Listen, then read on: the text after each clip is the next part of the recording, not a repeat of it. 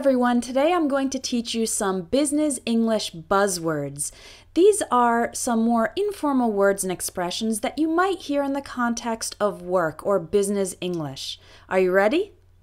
So let's say you're a creative person and you try to push the envelope at your company. Push the envelope means to move beyond the limits of what is normally done, to innovate and go into new areas.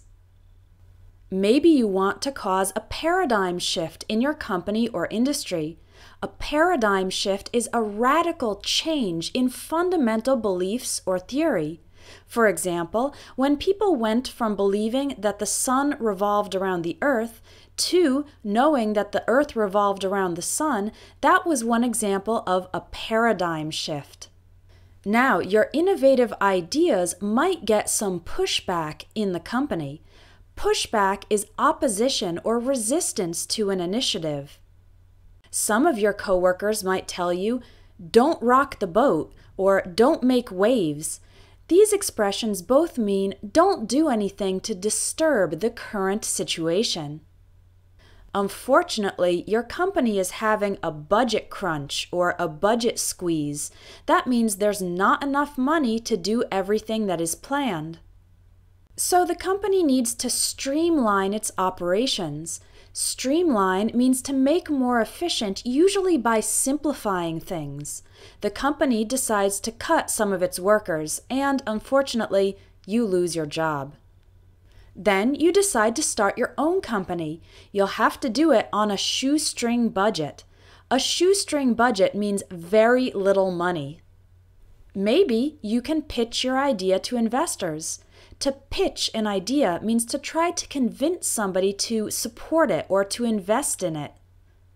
But nobody's interested in investing, so you'll have to bootstrap.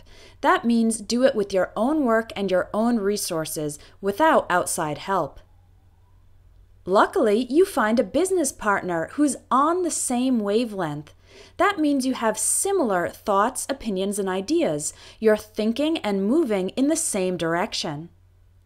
And together, you manage to put your company on the map. To put something on the map means to make it known to the public or make it famous.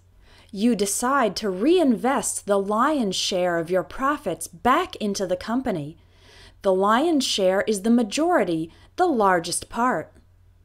And as a result, your company's products are world class. World class means of the highest quality. I hope you've enjoyed this little story and also learned some new vocabulary along the way. If you're interested in improving your skills for using English at work or in a business context, check out my Business English course. It will teach you phrases and vocabulary for meetings, phone calls, emails, presentations, and interacting at work in a professional context. You can see the lesson list at espressoenglish.net slash business-english-course. Go ahead and check it out. Thanks for watching today.